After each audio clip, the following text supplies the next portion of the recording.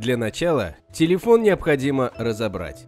Последовательность разборки подробно описана в ролике «Разбор Nokia 7520».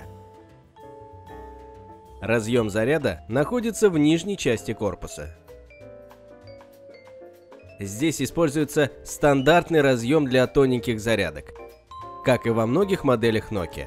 Чаще всего он выходит из строя по причине механических повреждений. Замена разъема производится довольно легко. Сначала вынимается пластмассовая заглушка. Далее пинцетом извлекается сам разъем. Он никак не зафиксирован на плате. Замена и установка нового разъема происходит также просто. Все действия повторяются в обратном порядке.